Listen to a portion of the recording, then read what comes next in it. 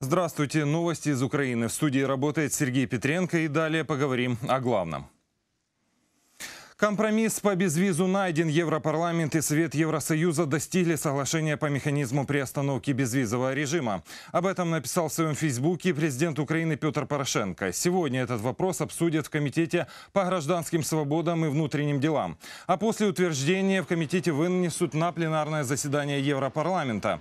Принятие механизма приостановки безвизового режима дает зеленый свет для отмены виз для Украины и Грузии. Наиболее вероятно, голосование по безвизу может состояться 18 января. Накануне президент Евросовета Дональд Туск призвал главу Европарламента Мартина Шульца как можно скорее договориться о механизме приостановки. В противном случае Евросоюз потеряет доверие своих партнеров и политические рычаги. 20 раз боевики обстреляли украинские позиции на Донбассе за минувшие сутки, сообщили в штабе. Атаковали из запрещенной Минскими соглашениями крупнокалиберной артиллерии и минометов. На Мариупольском направлении российские оккупационные войска из минометов калибра 120 мм обстреляли Чермалык и Широкино, а из 82 миллиметровых Красногоровку. По Новотроицкому огонь вел снайпер. Гранатометы и стрелковое оружие боевики использовали вблизи Лебединского, Славного и Павлополя.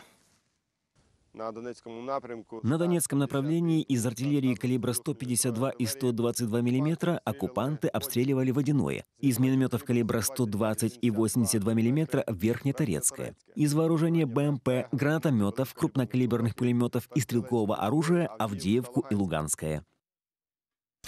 Украина прилагает все усилия для освобождения пленных до новогодних праздников. Боевики от обмена пленными отказываются. Об этом по итогам заседания гуманитарной подгруппы в Минске сообщила представитель Украины Ирина Геращенко.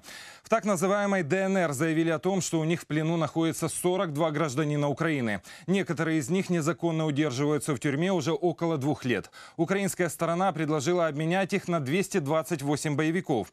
Террористы согласились освободить только восьмерых. В то же время луганские сепаратисты утверждают, что у них лишь шесть украинцев. Взамен требуют амнистировать и освободить более 440 человек. Переговоры идут очень трудно, но шанс на компромисс есть, отметила Геращенко. В подгруппе по безопасности украинская сторона продолжает настаивать на демилитаризации Дебальцева и на открытии пункта пропуска в Золотом до 10 декабря. Роль ОБСЕ в преодолении конфликтов нужно усилить. Об этом заявил Франк Вальтер Штайнмайер накануне встречи глав МИД стран ОБСЕ. В центре внимания форума конфликт на Донбассе и борьба с международным терроризмом. Штайнмайер обсудил и осудил действия России в Украине, считая, что ОБСЕ должна стать местом постоянного диалога и обмена мнениями. Это правильный европейский путь для преодоления конфликтов. На конференции в Гамбурге 8 декабря соберутся главы внешних внешнеполитических ведомств около 50 стран ОБСЕ. Россия обвинила крымского журналиста Николая Семену в публичных призывах к нарушению территориальной целостности Федерации. Об этом сообщили адвокаты Семены Андрей Сабинин и Эмиль Курбединов. По словам Сабинина, защита заявила ряд ходатайств. Следователь, не читая, сказал, что откажет. Сегодня начинается ознакомление с материалами уголовного дела. Курбединов прогнозирует, что ФСБ представит суду Николая Семену как ярого ненавистника России.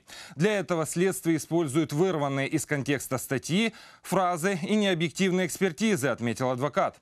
Напомню, 19 апреля российские силовики в оккупированном Крыму задержали журналиста «Радио Свобода» Николая Семену. Его обвинили в критике аннексии полуострова. Позже отпустили под подписку о невыезде. Расследование продолжается. В Украине и международных организациях осудили задержание журналиста.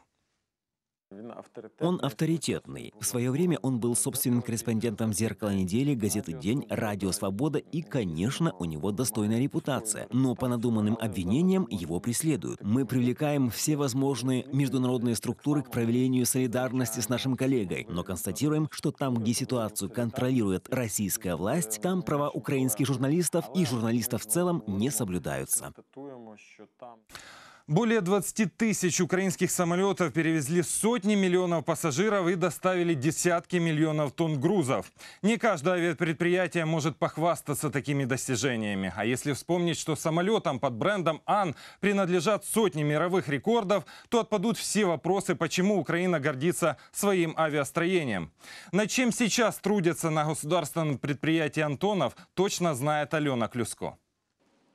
Когда в 1927 году в небо поднялся первый самолет из семейства Антонова Ан-2, мало кто мог подумать, что этой марке суждено написать не одну страницу в истории мирового авиастроения. Первый самолет был для нужд сельского хозяйства. В дальнейшем антоновцы в основном выпускали пассажирские и грузовые суда. Так, в конструкторском бюро под руководством легендарного Олега Антонова были разработаны и пошли в серию многоцелевые Аны 14 и 28, транспортные 8, 12, 22, 32, 72, 124, 225. Пассажирские 10 и 24. Однако независимо от моделей, все они имели свои козыри, которые до сих пор ценятся во всем мире.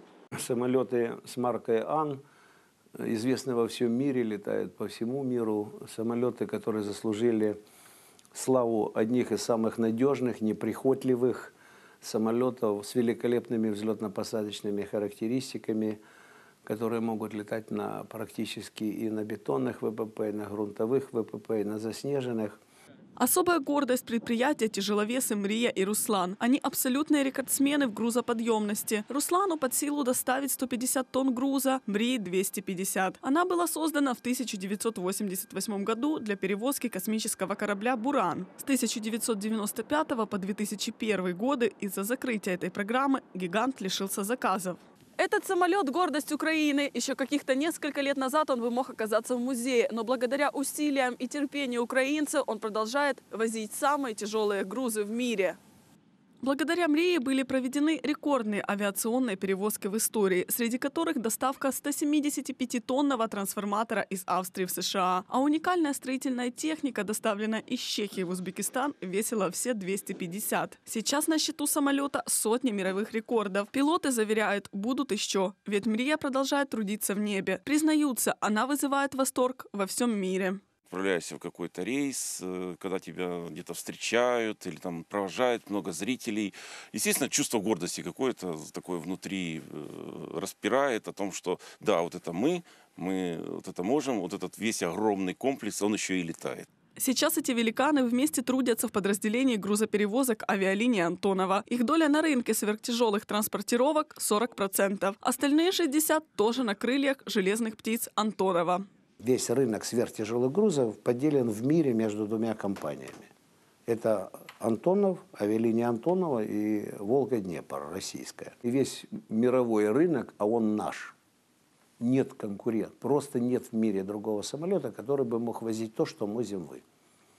У нас есть преимущество, что даже Волга-Днепр не может возить то, что может возить Мрия. Вскоре на взлетную полосу выйдет вторая «Мрия». Предприятие заключило контракт о достройке второго Ан-225 с китайской компанией. В дальнейшем стороны намерены наладить совместное серийное производство гигантов в Китае по лицензии Антонова. «Мрия-2» от «Мрия-1» будет отличаться прежде всего оборудованием. И, наверное, практически только оборудованием. Э, потому что фюзеляж, крыло, оперение, все основные агрегаты по конструкции, они абсолютно идентичны МРИ-1. А вот оборудование, которое будет устанавливаться, там, э, системы э, самолетные, они, конечно, будут уже современные. Однако на сегодняшний день главное направление – серия современных пассажирских самолетов Ан-148 и Ан-158. Отличаются небесные птицы размерами и количеством пассажиров. Самолет соответствует всем современным требованиям, значит, позволяет его эксплуатировать в любых условиях, в любых, как говорится, климатических условиях, на аэродромах вплоть до высоты 4000 метров. Самолет Ан-158 только собирается у нас на Украине, поэтому и самолет Ан-148-200 тоже собирается только на Украине. Среди заказчиков авиакомпании Турции, Саудовской Аравии, Азербайджана, Малайзии и Кубы. Также завод получил госзаказ от Минобороны Украины на строительство трех Ан-148. Кроме разработки новой техники, предприятие обслуживает и модернизирует все находящиеся в эксплуатации Аны, чтобы украинские машины соответствовали требованиям времени. все эти годы шла модернизация, особенно в части авионики или авиационного оборудования. То есть это самолет уже давно не похож, особенно по облику кабины, на тот самолет, который был создан 35 лет назад или больше. Да? Это требование сегодняшнего дня.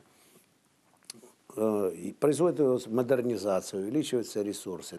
К концу года антоновцы представят миру очередную новинку Ан-132Д. Его разработали по спецзаказу из Саудовской Аравии. Доступен он будет и для других клиентов. Большинство комплектующих украинские. Остальные поставляют партнеры из США, Франции и Канады.